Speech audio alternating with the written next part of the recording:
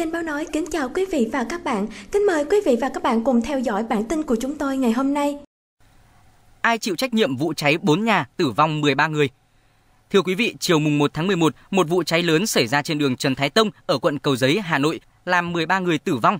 Sau 7 giờ chữa cháy, 4 căn nhà, nhiều xe máy, ô tô hư hỏng nặng.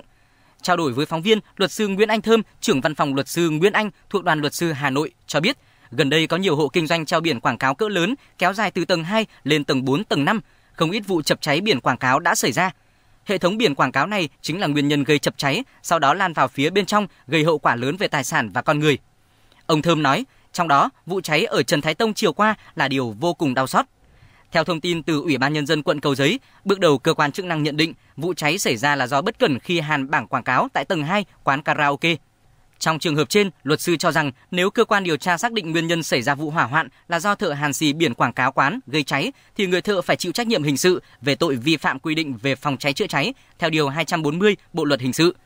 Ngoài trách nhiệm hình sự, người vi phạm còn phải có trách nhiệm bồi thường thiệt hại đã gây ra theo quy định của pháp luật. Nếu xác định người thợ thi công hàn xì được thuê mướn thì người chủ thi công nếu có phải có trách nhiệm liên đới bồi thường dân sự vì đã không áp dụng biện pháp bảo hộ và đảm bảo an toàn trong quá trình sử dụng lao động gây hậu quả thiệt hại về người, tài sản. Ngược lại, nếu chủ cơ sở kinh doanh karaoke đã không thực hiện hoặc thực hiện không đúng các quy định về phòng cháy chữa cháy dẫn tới hậu quả làm nhiều người chết, thiệt hại về tài sản thì sẽ phải chịu trách nhiệm hình sự theo điều 240 Bộ luật hình sự. Để truy cứu trách nhiệm hình sự, cần phải xác định rõ cụ thể quy định nào mà chủ cơ sở vi phạm về phòng cháy chữa cháy. Mặt khác, cơ quan chức năng phải chứng minh được mối quan hệ nhân quả giữa hành vi vi phạm của chủ cơ sở là nguyên nhân dẫn tới thiệt hại nghiêm trọng đã xảy ra. Trường hợp chủ cơ sở karaoke không có giấy phép kinh doanh hoặc không có đủ điều kiện an ninh trật tự và phòng cháy chữa cháy mà vẫn hoạt động kinh doanh thì đó là lỗi vi phạm hành chính. Do vậy, trong vụ việc này, cơ quan điều tra cần phải xác định được nguyên nhân gây cháy do hành vi nào thì mới có thể quy trách nhiệm cho chủ cơ sở. Ngoài ra, chủ cơ sở để xảy ra cháy lan sang nhà khác đều phải có trách nhiệm bồi thường dân sự. Chủ cơ sở không phải chịu trách nhiệm hình sự và dân sự trong trường hợp bất khả kháng như vụ việc xảy ra một cách khách quan, không thể lường trước được và không thể khắc phục được mặc dù đã áp dụng mọi biện pháp cần thiết hoặc tình thế cấp thiết. Theo đó, người nào vi phạm điều 240 Bộ luật hình sự về tội vi phạm quy định về phòng cháy chữa cháy thì bị phạt cải tạo không giam giữ đến 3 năm hoặc phạt tù từ 6 tháng đến 5 năm. Trong trường hợp gây hậu quả nghiêm trọng thì phạt tù từ 3 năm đến 8 năm phạm tội gây hậu quả đặc biệt nghiêm trọng thì phạt tù từ 7 năm đến 12 năm. Trường hợp có khả năng thực tế dẫn đến hậu quả đặc biệt nghiêm trọng, nếu không được ngăn chặn kịp thời thì bị phạt cảnh cáo, cải tạo không giam giữ đến 2 năm hoặc bị phạt tù từ 3 tháng đến 2 năm.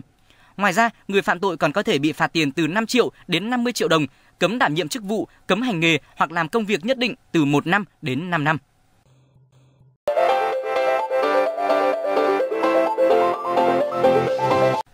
12 người tử nạn trong vụ cháy quán karaoke học cùng lớp.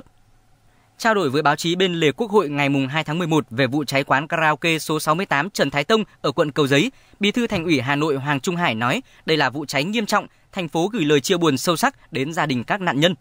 Theo ông Hải, đến nay các nạn nhân đã được nhận dạng, gia đình đưa về nhà an táng. Cơ sở nơi xảy ra cháy chưa có giấy phép, nguyên nhân vụ hỏa hoạn bước đầu được xác định do nhà hàng sửa chữa.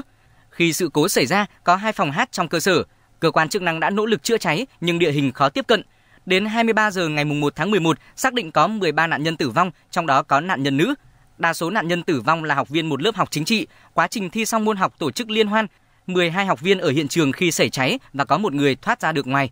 Đám cháy được phát hiện lúc gần 14 giờ ngày 1 tháng 11, khởi phát từ quán karaoke nhanh chóng lan ra các nhà lân cận trên phố Trần Thái Tông, phường Dịch Vọng Hậu, quận Cầu Giấy, Hà Nội. Sau 7 tiếng chữa cháy, lực lượng chức năng phát hiện 13 nạn nhân tử vong, Mặt tiền 4 căn nhà cao khoảng 8 tầng bị thiêu rụi hoàn toàn, nhiều xe máy và ô tô hư hỏng. Khu vực xảy ra cháy có hoạt động kinh doanh sầm uất với 5, 6 cơ sở karaoke, nhiều nhà hàng và cửa hàng thời trang gần Học viện Báo chí Tuyên truyền và Đại học Quốc gia Hà Nội.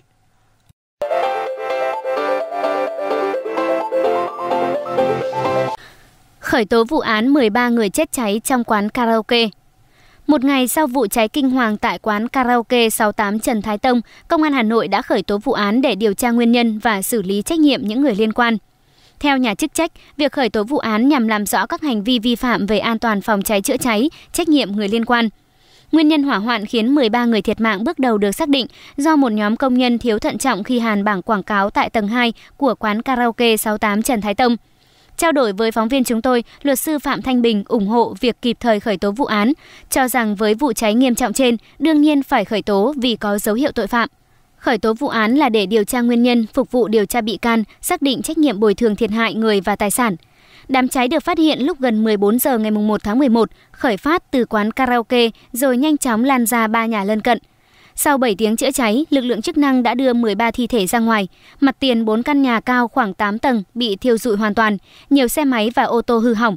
Bí thư Thành ủy Hà Nội Hoàng Trung Hải cho biết, đa số nạn nhân tử vong là học viên Học viện Chính trị Quốc gia, lớp dành cho trưởng phó phòng cấp sở.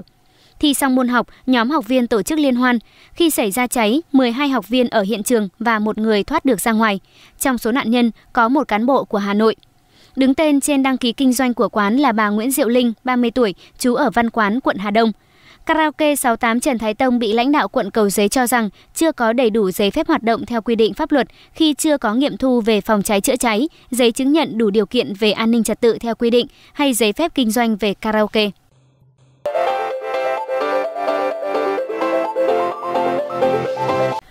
Người dân bàng hoàng ám ảnh sau vụ cháy quán karaoke. Đám cháy từ quán karaoke trên đường Trần Thái Tông, quận Cầu Giấy, Hà Nội vào lúc 13 giờ 15 phút chiều ngày hôm qua, mùng 1 tháng 11 đã khiến ít nhất 13 người thiệt mạng.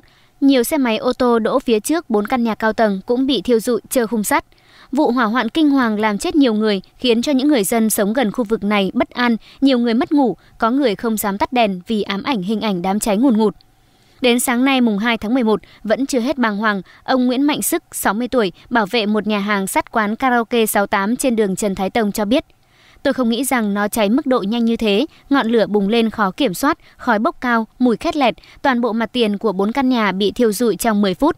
Trải qua một đêm mất ngủ, bà Nguyễn Thị Bích, số nhà 6 Trần Thái Tông cho biết, đầu giờ chiều qua đang ngủ thấy mất điện, thấy có người nói ở Trần Thái Tông cháy quán karaoke, tôi chạy ra thấy cháy ngùn ngụt, nhìn sợ lắm. Người dân sống gần đây đều bàng hoàng đau xót khi chứng kiến tận mắt đám cháy lớn làm chết nhiều người.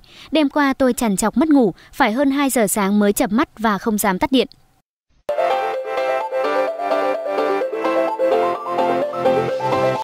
Vì sao khói trong đám cháy dễ gây chết người? Khói trong đám cháy nhanh chóng phát tán lại chứa nhiều loại hạt, hơi, khí độc. Khi cơ thể con người hít phải sẽ thiếu hụt oxy, tổn thương hệ thần kinh và có nguy cơ tử vong. Hầu hết người chết trong hỏa hoạn do hít khói chứ không phải do bị bỏng. Khói dễ dàng phát tán dẫn đến mất phương hướng, khó nhìn nên nạn nhân càng khó thoát ra ngoài.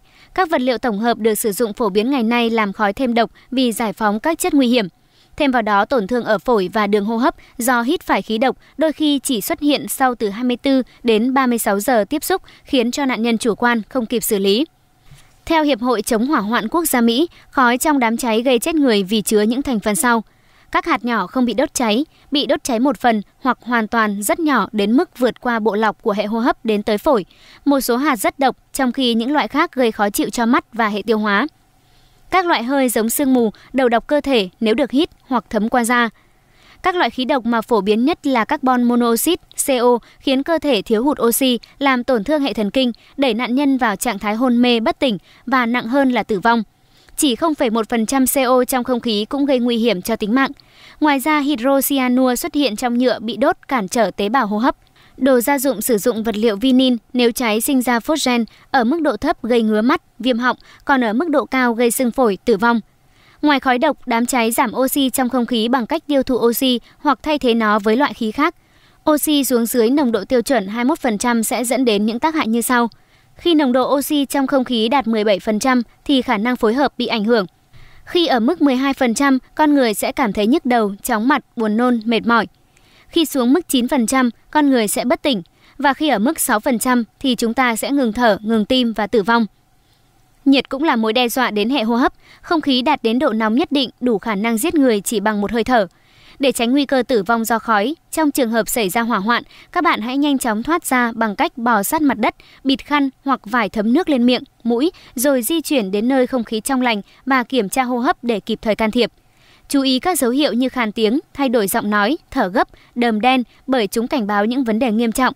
Nạn nhân bị ngạt thở cần được đưa đến cơ sở y tế ngay lập tức.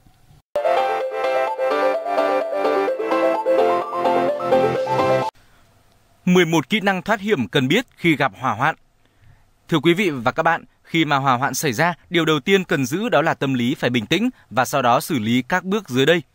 Bước đầu tiên, thiết kế và định hướng rõ ràng đâu là cửa chính và đâu là cửa phụ. Khi lửa bùng cháy dữ dội và chặn mất đường ra ở cửa chính, bạn sẽ không bị hoảng hốt vì còn có cửa phụ để thoát ra ngoài. Thứ hai, tạo một lối thoát hiểm an toàn. Khi nhà bị lửa tấn công thì suy nghĩ duy nhất là tìm cách thoát ra khỏi nhà càng nhanh càng tốt. Đừng chần chừ cố lấy cho bằng được của cải hoặc giấy tờ. Nán lại để gọi điện thoại cho đội cứu hỏa chỉ lãng phí thời gian quý báu thoát ra khỏi đám cháy. Tốt nhất là cố thoát ra ngoài, gọi nhờ điện thoại của người hàng xóm hoặc nhờ họ gọi. Điều thứ ba, rèn luyện kỹ năng phòng cháy chữa cháy cho mọi thành viên trong gia đình và cả người giúp việc. Điều thứ tư, nếu nhà bạn có hai lầu trở lên, hãy mua thang có thể mang vác, di chuyển được. Khi gặp sự cố, bạn có thể thoát ra bằng cửa sổ mà không sợ bị ngã, nhưng cũng phải chắc rằng mọi người trong nhà đều phải biết chỗ để thang và làm cách nào để sử dụng nó.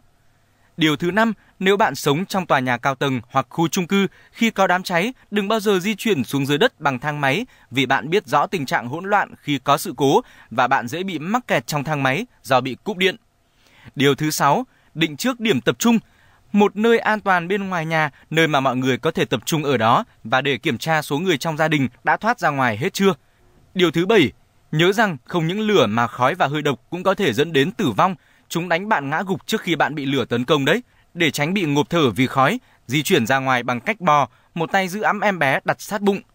Điều thứ 8, khi tóc hoặc quần áo bị bén lửa, hãy dừng lại, nằm xuống và lăn người qua lại hoặc lăn tròn. Đừng quên dạy những đứa trẻ kỹ thuật này. Nếu bạn ở bên cạnh con khi quần áo của nó bắt lửa, hãy chụp lấy chăn đắp chùm nhanh lên người nó để dập tắt lửa. Điều thứ 9, trước khi mở tung cửa chính nên kiểm tra tay cầm của cánh cửa xem nó có quá nóng không. Nếu tay cầm bị nóng do ngọn lửa đang bùng lên dữ dội ở phía sau, hãy thoát ra bằng cửa khác. Những người sống ở lầu 1 có thể thoát ra ngoài bằng cửa sổ.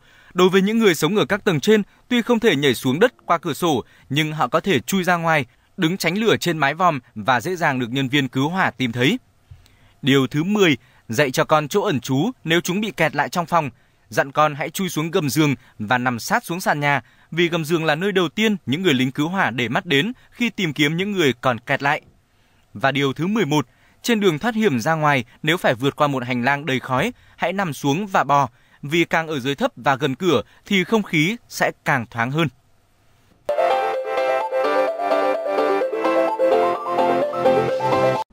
Cảm ơn quý vị và các bạn đã quan tâm theo dõi. Để cập nhật những bản tin mới nhất của chúng tôi, quý vị có thể đăng ký kênh hoặc ấn subscribe kênh Báo Nói. Hy vọng rằng những thông tin chúng tôi mang lại sẽ khiến quý vị và các bạn cảm thấy hài lòng. Xin chào và hẹn gặp lại!